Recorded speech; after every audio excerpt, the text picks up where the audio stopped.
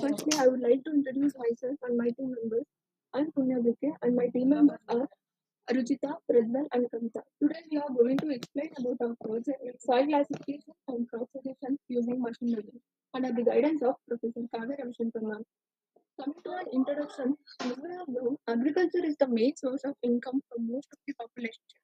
So farmers are always curious about field production. Many factors are responsible like soil, weather, rain, fertilizers, and pesticides to increase field production. Agriculture is like a soil-based industry. An increase in field can only be attained by ensuring that soil provides a balanced and an adequate supply of nutrients. Soil therapy is pivotal in understanding the deficiencies in soil and avoiding a nutrient imbalance. The, in this project, we mainly focuses on the uh, different soil types, crop types, and soil test reports. We can say soil is an important ingredient of agriculture there are several types of soil, and each type of soil can have a different kinds of features, and different kinds of crops grow on a different types of soil. And we must know which crop grow better in our soil. And we are going to propose a model that can predict the soil series with a land type. And according to the prediction, it can suggest a suitable crops for that particular soil series. In this project, we are using several machine learning algorithms like SVM and uh, Navy Bayes algorithm. For the classification purpose, we are using the SVM algorithm, and for the prediction purpose, we are using Navy Bayes algorithm. Next motivation is explained by Ruchita. Good afternoon, everyone. As we know, agriculture plays a uh, significant role in the growth of natural economy, national economy, and it rely on weather and uh, other environmental aspects. Where soil is an important ingredient of the agriculture, we need to know its feature and characteristics. And also, there are several kinds of soil. Each soil type differ its feature from other type of soil. The farmers are falling into debts because they have to face the decrease in crop productivity, which in turn increase the risk of their profit. This is because uh, without knowing the type of soil and suitable crop to grow there, and hence we motive to classify the soil and suggest the suitable crops which can be grown in that soil.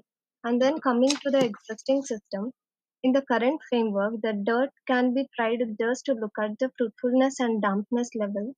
Then it must be given to the lab testing where it may take the few days to bring out the outcomes where farmers has to wait till they get the reports where it is a manual identification of the soil in the lab and hence uh, it is time consuming and manual errors are more in this case and hence there will be a loss of crop yield and then the proposed system will be explained by our teammate Kavita. Coming to the proposed system, here user will be collecting all available data sets of a particular soil and upload it to the web app. Then data comparison will take place with the help of support vector machine classifier is a supervised machine learning algorithm which can be used for both classification and regression challenges. Here we use Naive Bayes for uh, predicting purpose which can be extremely fast relative to other classification algorithms. It works on Bayes theorem of probability to predict the class of unknown data sets. Here we use datasets model to implement the ideas or information brought by dissecting the area, utilizing model to estimate crop so that farmers can develop crop and get great yield and profit.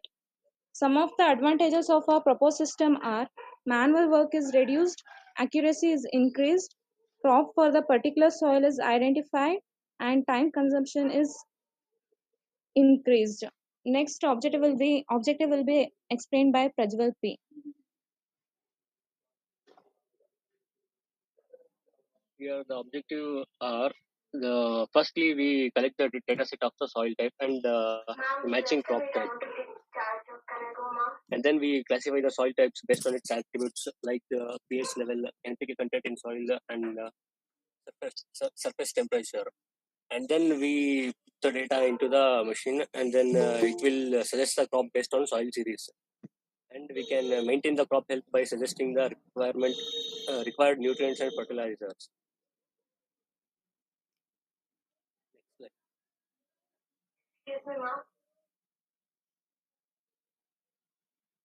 conclusion, uh, a mod Coming to software requirements, we are operating on basis of Windows 7 and above.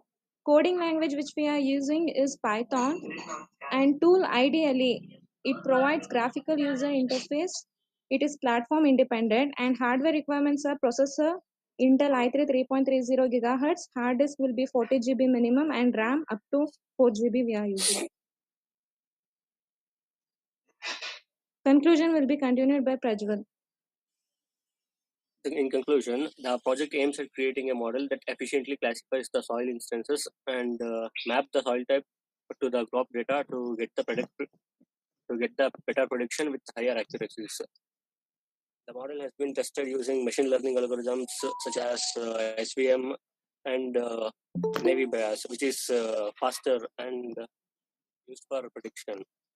The accuracy for present model is maximum in this existing model.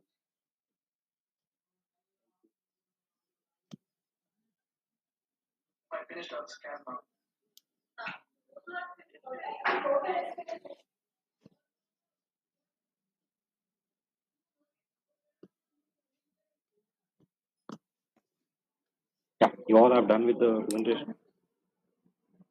Yes, sir. Yes, sir. Okay, uh, get back to the proposed system.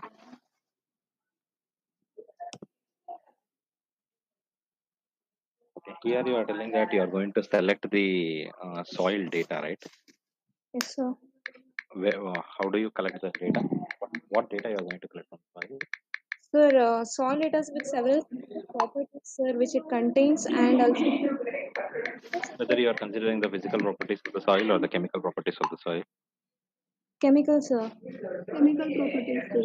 Uh, you can, can you tell me what are the chemical properties as of now? We have you uh, verified that? We are considering pH values, temperature, and um, fertilizers in. Okay. So in a pro- existing system, you said that it is manually collected. Can you please differentiate clearly how the data is collected manually, how we are collecting it?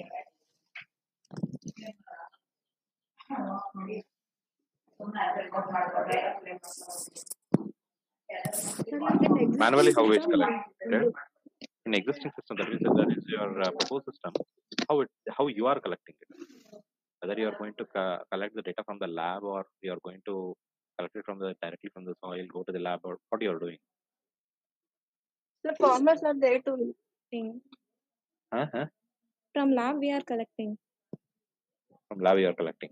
Sir, even we can collect the information from uh, food agriculture organizations. So they they will be keeping all the records of the soil, sir. So we can directly go there and also we can bring the information, sir. Then how is that different from the manual testing?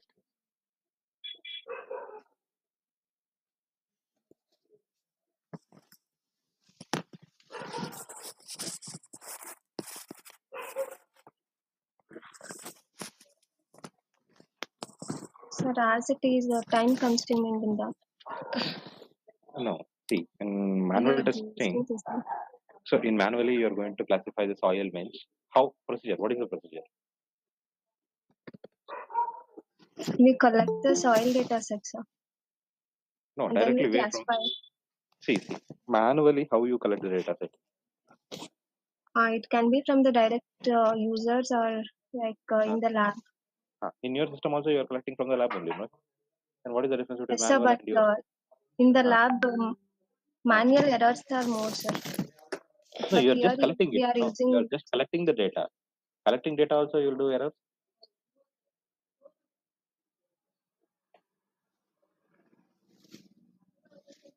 So then we will classify, know, like uh, we we are using the So SVM. that is see, that is uh, with respect to your uh, machine learning techniques. That you can do it uh, from the data set. I am very much clear with that.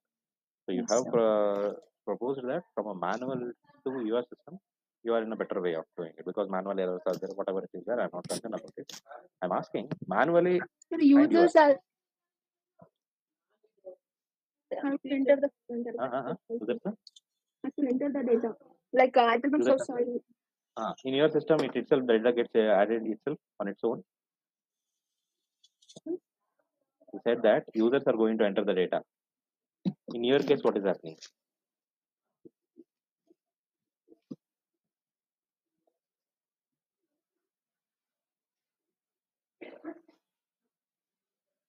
What are the different attributes which are actually necessary to classify it as one type of soil?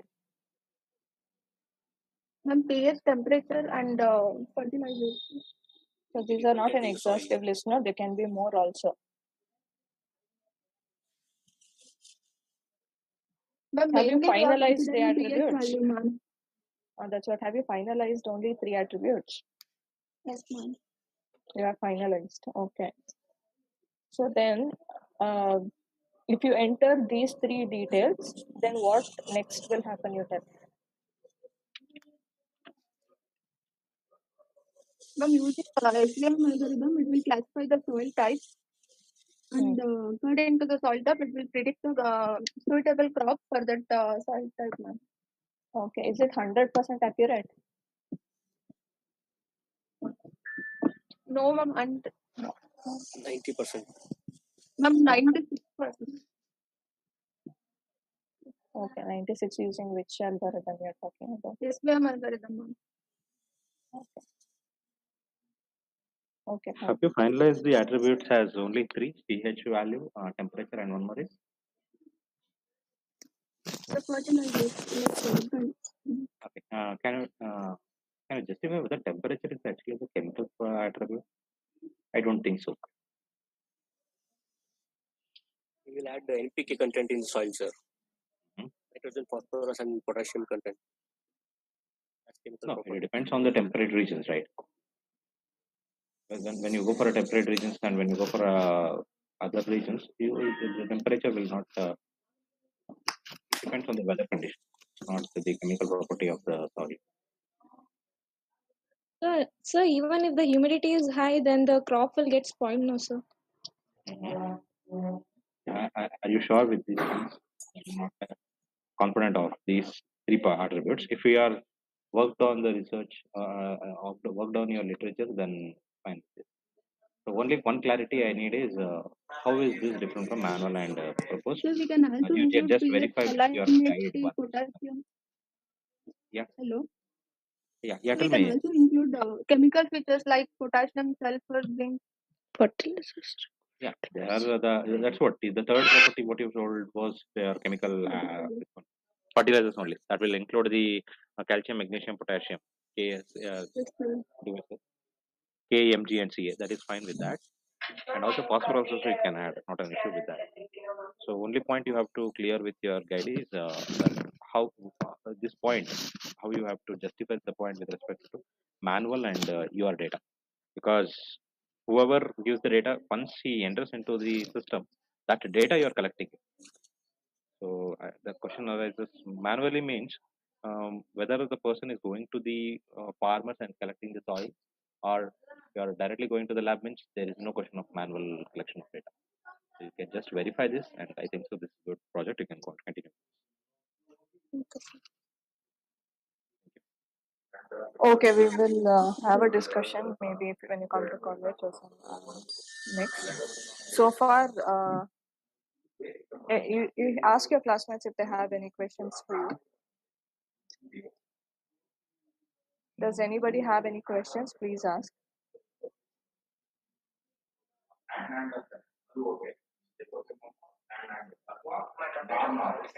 All right, fine. We'll end the meeting now. You can end the meeting and we'll have further discussion about this. Okay. Yeah, thank you. Thank you, ma'am. Thank you.